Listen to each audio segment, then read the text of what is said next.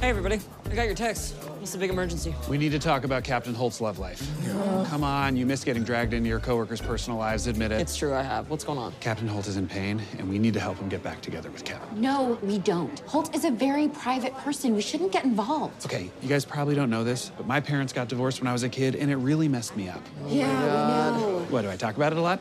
It doesn't matter. The point is, we can't let that happen to Daddy Holt and Daddy Kevin. So we're just dispensing with subtext now? Yes, this workplace is my family. Was that not clear? Holt is my dad, you're my mean older sister, Amy's my mom. What? What? What did I say? You said Amy is my mom. Nobody said anything. We don't have time for this, Amy. Now, who's gonna help me parent trap Holt and Kevin? Seriously? Nobody's on board with my scheme? Is because I called it a scheme? I can say something different. Nobody's on board with my stratagem? Nope. So, Look, Holt just needs us to be there for him.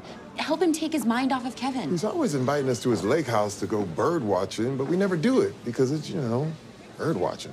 We could finally go. You would love that. wow, stabbed in the back by my own mom. What? Wife! I said wife! Why do you keep not hearing me? Whatever, let's just do Terry's plan.